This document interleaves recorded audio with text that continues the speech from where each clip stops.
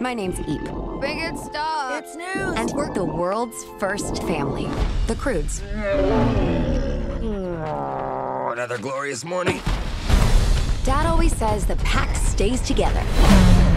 That's my girl. Seatbelt mode. Now we're searching for a perfect place to call home.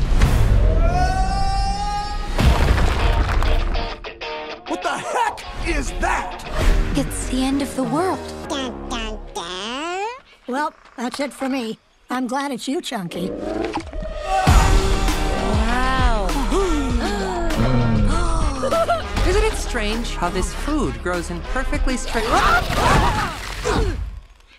Genius.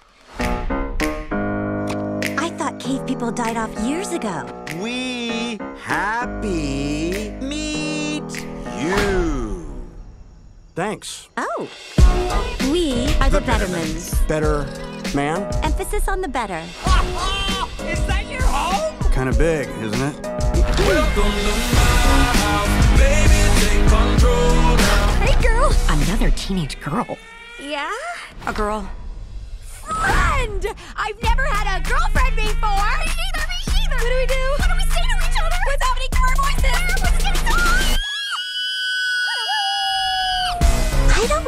cave people belong in a modern world. What's your problem, big guy? This place is changing everyone. Guy? And we really need to limit Thunk's window time. Not now, Douglas. The birds are on. In my day, we didn't stare at birds. We fought them. Let me live my life! Whoa, what's that? It's just a scar. Every mark is an adventure. And my dad doesn't even know about this one. Whoa, peanut toe. You're not allowed outside the wall? Nope. This farm is like your cave. You're just like me. I feel like taking chances. You see that wall? Yeah. You want to jump in? Yeah. No. We'll be back before anyone knows. Like when I close my eyes. Don't even care if anyone sees me dance. You took Dawn for a joyride. The Bettermans built the wall for a reason. That's not good. The only way to survive is if the pack stays together. In such a dangerous world, I worry about my family too. What's that? Kill circle. Today is a good day to die!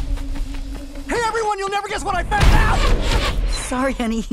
We thought you were a predator trying to kill us. No, never apologize for an effective kill circle. Hold on, stop. You accessorize with a sloth? I accessorize with a sloth. This is Belt. Mine's sash. Ooh la la.